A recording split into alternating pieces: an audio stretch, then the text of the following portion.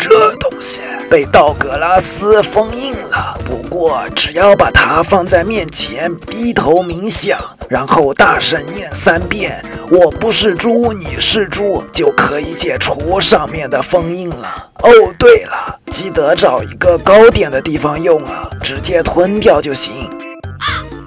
你们这样看我干啥？那老狗就是这样设置封印的，跟我有啥关系？你不来解除这个封印？你们不都是传说吗？去去去！我都一把年纪了，还让我念绕口令，你杀了我吧还是？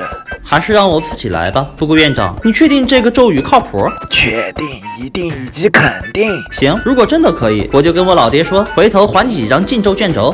你说的，我可录音了。你一把年纪了，能不能要点节操啊？你管我，反正我没骗你。你们玩吧，我去找你们李奶奶去。这老头越来越不靠谱了，真的是。不管了，走了，去我家楼顶解除封印吧。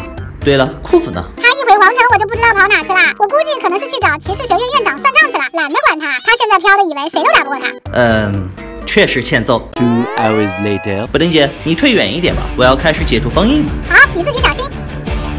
我不是猪，你是猪；我不是猪，你是猪；我不是猪，你是猪；我不是猪，你是猪。我去，怎么就遭雷劈了？啊，这宿命好像解除了，不管了，我直接把这东西给吸收了。有点惨呢。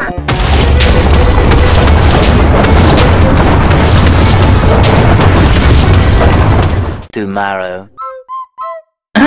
我这是在哪儿？你在家里太狠了，这玩意儿，我算了一下，足足劈了你两千四百八十二道闪电。我在城里的另一头都看到你在那边疯狂的挨批，现在全城人都觉得你给老天爷戴绿帽了。啊？为什么是戴绿帽？除了大仇，应该没什么事情会让你被雷劈的这么狠吧？别扯别的，那到底现在感觉怎么样？呃，我现在就是稍微有点头疼，但是感觉很不错，因为我感觉到我的身体里有很强的神圣的力量。这么说，你终于是转化回来了吗？好，等你恢复了，跟我打一架。停停停，我们还是先去见一下老头吧。啊，我就先不去了。咋啦？你把他给打了？没有，就我昨天在路上走，突然来了个大妈碰瓷，她坐到我边上，当时就卧倒了，然后我把那大妈揍了一顿，然后呢？然后我才知道那大妈就是你奶奶。那你确实该躲一躲。走吧，豆豆，我们去见老头。裤子，保重。